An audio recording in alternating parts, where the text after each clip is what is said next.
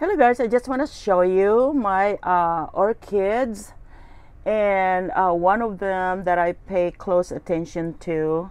Um, let me see, this is, these are just some of my orchids. Uh, this one that I'm going to show you is, uh, let me see, it has how I care for them and the air roots.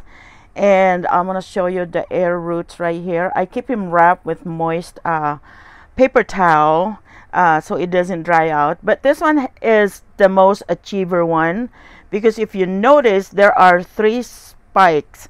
Um, this one right here is a new one, and uh, this one right here just finished.